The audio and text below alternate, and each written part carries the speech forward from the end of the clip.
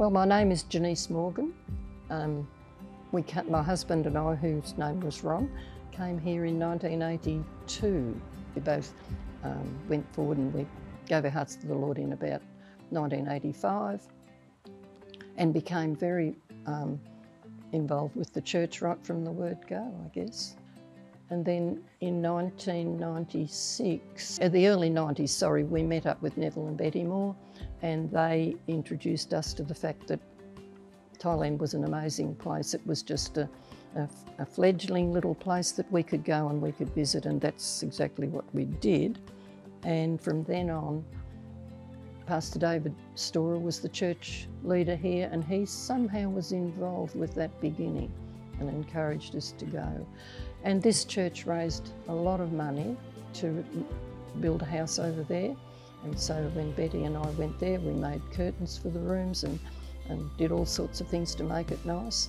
And our men, amazingly, they had underground water, but they had no water in the little homes that they had there. So our men, plus Graham Amory, who used to come here, they managed to fit the places up with, because they were farmers, they knew and they understood, and we bought tanks and stands, and it was an amazing time, and we were able to put water all through the three homes that were there, and they were so appreciative of that.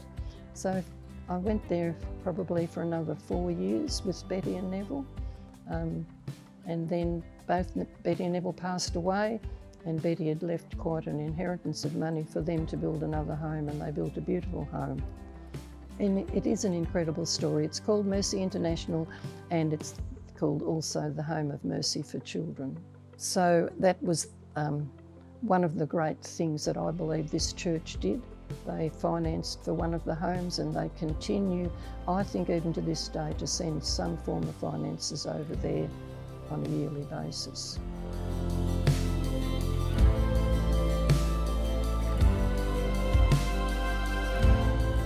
We started, or at least the group of us started, a prayer for Israel. Trevor kindly let us do that. And it was started first of all in my home because that's how I ran one in Queensland. But then we realised that the greater blessing would be shared if it was in a church. And you see, God blesses those who bless Israel.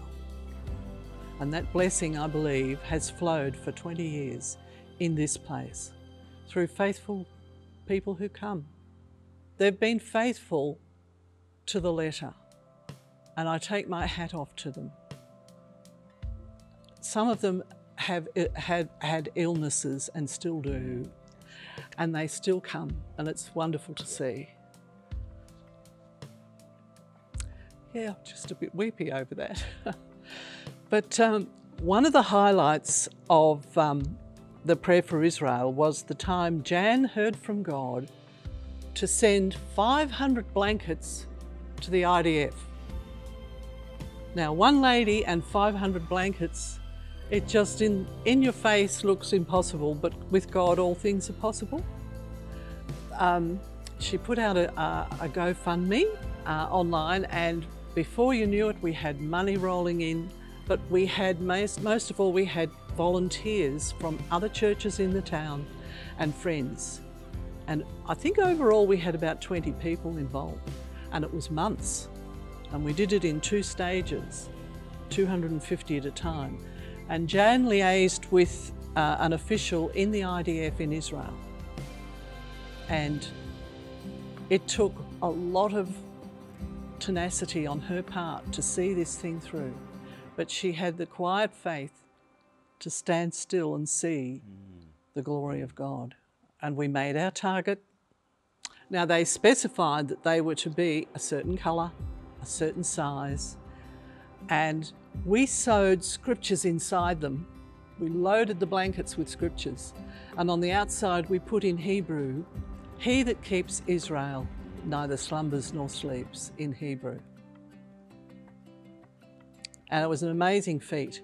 But what was so special about it too was the, the bonding, the interchurch um, response for the people in the other churches, and um, to see something come from nothing to something great. The other thing I felt about um, the Prayer for Israel, we had Pastor Patrick Russell, who heads up Christian Friends of Israel, come and visit at one time, and he taught on how God regards Israel through the Bible. And he still heads that up, and we still fund it. And in Israel, they have about nine different arms of Christian witness to the Jewish people and to the Muslims over there, uh, which is amazing.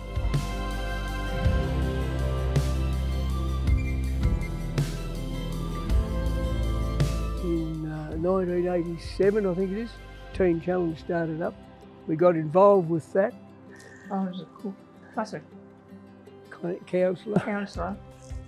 because they had girls there as well in some some of those years there was.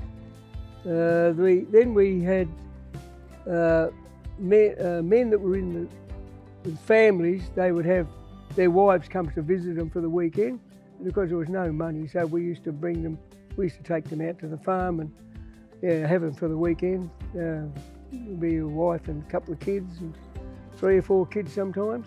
Yeah, that was what it was in those days. That they needed looking after, and they were appreciative of them. Some of the, even some of the guys, we still keep in touch, intact with the Teen Challenge boys. They used to come, oh, Gordon Broussard, when he first introduced them, they used to sit over, just over there, right in the, always in the one place. Yeah.